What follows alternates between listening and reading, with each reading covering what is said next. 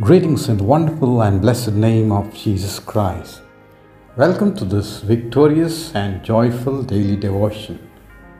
Topic for today Spreading words of encouragement and hope. Christian life is a season of hope 24 by 7. I hope these devotions bring hope and encouragement to cultivate spiritual growth for all of us so that we can flourish in renewal revival and guidance from the Lord. Let's read Ephesians 4:29.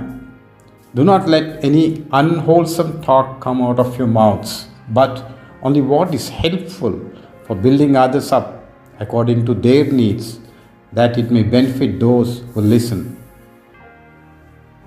There is no doubt that people need encouragement. Word of God tells us to encourage one another and build each other up. This means we should use our words to honor God by showing love and care towards each other. There are some people in this world we observe, their talk is always warm, encouraging, and comforting. Their words of encouragement rekindle hope and strength to the drooping shoulders Associating with such people changes the course of life.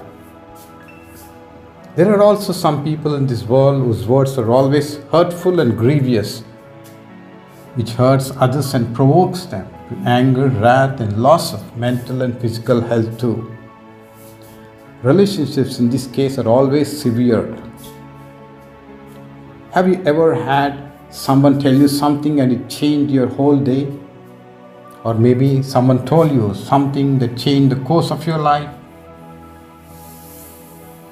Perhaps it was just some encouraging words on a hard day, or maybe someone shared their story or life experience. Well, words are powerful tools to change our outlook on life for both good and better. Some simple examples of words of encouragement include you are doing a great job. Keep it up. I know things have been tough lately, but you have not given up. That's wonderful. Thank you for all your efforts. My sincere appreciation. Help us, Lord, that our thought to be helping and building others according to their needs. Help us to remember you created us to live in intimate connection with one another. We are wired to need one another and we are most courageous in the context of community, as a society, as a family.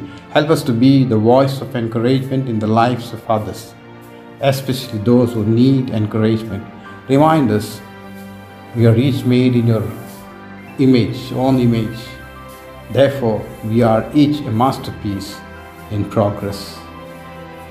Give us your grace to uplift others by all means. In Jesus' sweet and wonderful name we pray. Amen.